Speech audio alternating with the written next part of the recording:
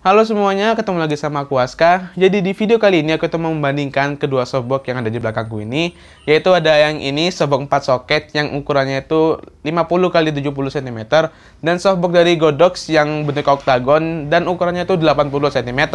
Sengaja aku bandingin kedua softbox ini karena menurutku ini adalah opsi yang cukup menarik kalau kalian tuh mau punya softbox yang lumayan low budget. Terkhususnya untuk youtuber pemula ya yang kira-kira budgetnya itu low tapi pingin pencahayaan yang bagus gitu. Jadi ya aku bandingin aja kedua softbox ini. Kalau menurut kalian video ini terlalu lama, kalian tuh bisa nonton dipercepat 1,25 atau 1,5 kali. Yang penting informasi yang aku sampaikan itu ya kelar kalian terima gitu atau ya sampai full ke kalian. Jangan nonton setengah-setengah nanti ilmu yang kalian dapat tuh nggak full. Aku nggak mau video ini terlalu lama jadi langsung aja kita bahas perbedaan dari kedua softbox ini. Yang pertama udah pasti tuh dari bentuknya. Karena bentuknya itu beda banget. Softbox 4 soket itu bentuknya kotak ya dengan ukuran 50 x 70 cm. Sementara yang softbox oktagon itu bentuknya ya oktagon segi 8 dengan ukuran diameter itu 80 cm.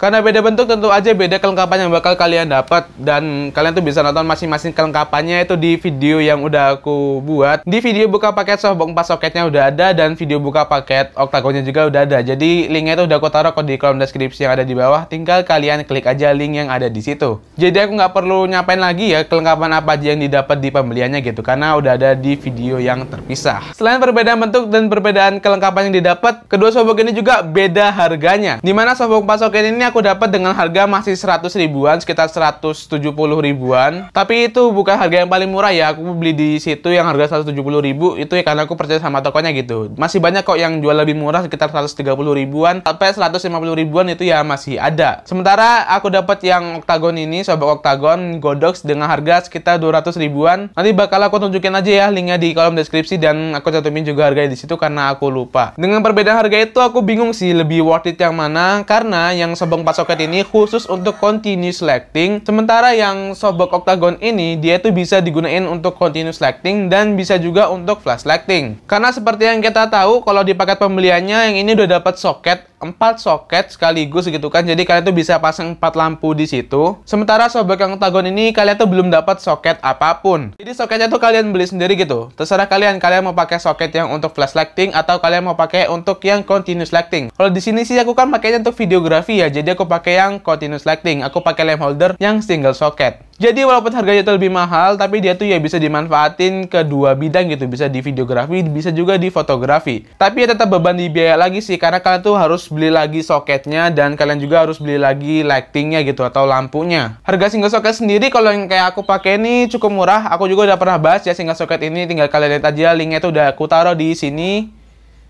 Tuh udah ada linknya. Oke, sekarang kita bahas gimana cara pasangnya. Di mana sobong pas soket ini sebelumnya udah aku buatin video mengenai cara pasangnya sendiri ya. Video itu udah bisa kalian tonton, ada linknya di kolom deskripsi yang ada di bawah. Jadi kalian tinggal klik aja link ada di situ dan tonton cara pasang sobong pas soket ini. Sementara yang ini octagon itu cara pasangnya ya simple banget kayaknya nggak perlu aku jelasin juga kalau kalian udah punya alatnya kalian bakal paham gitu. Jadi daripada aku buang-buang waktu dan video ini kelamaan, jadi ya mungkin cara pasangnya nggak aku bahas. Cuma ya memang simpel banget gitu. Kayak kalian tuh cuma pasang payung reflektor biasa. Dan udah sedikit aku singgung sih di video sebelumnya gitu cara pasangnya. Jadi kalian tonton aja video reviewnya itu ada di sini. Oke, sekarang aku tuh mau langsung aja ngetes kedua lighting ini kalau untuk dipakai untuk video gitu. Jadi kalian tuh bakal tahu hasil perbedaannya kalau untuk video tuh kira-kira bagusan yang mana. Di sini aku pakai masing-masing satu lampu dan lampunya tuh lampu CFL yang 45 watt, 5500 Kelvin. Jadi kalian tuh bakal tahu hasilnya tuh gimana karena aku nanti ngerekamnya tuh pasti pakai open kamera dengan settingan yang nanti bakal aku kasih tahu. Oke, langsung aja kita coba. Hayo.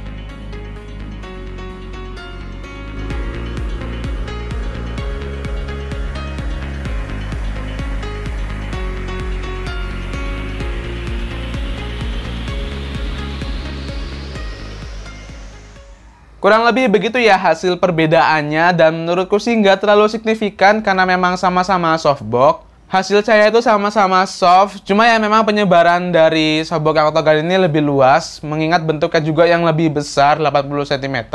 Kalau aku disuruh memilih sebagai itu berpemula, mau pilih yang mana sih untuk lightingku? Softbox yang 4 soket atau softbox octagon ini? Yang udah jelas, aku bakal memilih softbox yang 4 soket ini. Karena banyak banget ya pertimbangannya, di antaranya itu dia tuh udah dapat soketnya langsung, Gimana aku bisa pakai 4 lampu dan udah pasti lightingku juga bakal lebih terang. Dan bahan softboxnya juga menurutku udah lumayan tebel ya kalau dibandingin sama softbox yang ini. Softbox octagon yang dari Godox. Kerasa beda gitu bahan softboxnya. Yang dari Godox ini terkesannya kayak payung reflektor biasa cuma ya dia lebih tebel. Dan hal yang harus aku korbanin adalah cara rakitnya. Karena cara rakit dari softbox ini tuh agak susah ya, agak rumit. Uh, waktunya tuh agak panjang.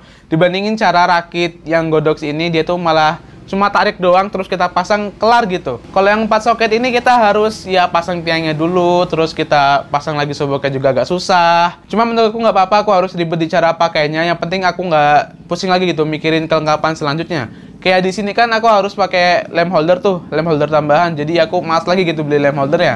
Sementara yang 4 soket ini kan udah dapat dari pembeliannya itu kalau aku jadi youtuber pemula ya atau jadi pemula banget. Tapi kalau aku udah jadi profesional mungkin aku bakal mempertimbangkan untuk membeli yang ini. Kenapa? Karena ini fleksibilitasnya tuh lebih tinggi gitu daripada yang ini. Yang ini kan khusus untuk continuous lighting artinya ya khusus untuk video gitu. Kalau untuk foto ya bisa cuma kan foto pakai continuous lighting itu kesannya kurang gitu.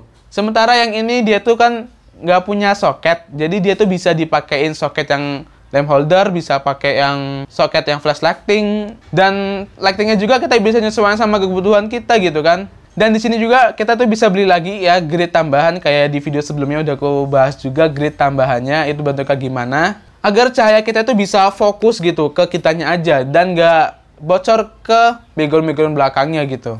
Intinya semuanya itu tergantung dengan kebutuhan kalian. Kalau kalian cuma untuk video doang dan ya mungkin budget kalian tipis, silakan pilih yang ini. Tapi kalau misalnya kalian tuh budgetnya lumayan ada dan lumayan mau bereksperimen, silakan kalian pilih yang ini. Siapa tahu ke depannya kalian tuh bakal bisa upgrade dan bisa juga jadi fotografer profesional. Oke, mungkin sekian aja video kali ini. Mohon maaf banget kalau masih banyak kekurangan di video ini kayak suara motor, suara ayam, suara anak-anak ya, dan lain-lain itu ya memang di luar kendaliku gitu kan. Dan untuk kalian yang masih bingung dan mungkin aku juga jelasinnya kurang lengkap, silahkan kalian tanya aja di kolom komentar yang ada di bawah. Seperti biasa, buat kalian yang ada saran, kritik, request, ataupun hal lainnya, langsung aja kalian tulis di kolom komentar yang ada di bawah. Kalau menurut kalian video ini bermanfaat, silahkan kalian share ke teman kalian yang membutuhkan informasi mengenai lighting. Oke, aku Aska. Ketemu lagi di video selanjutnya.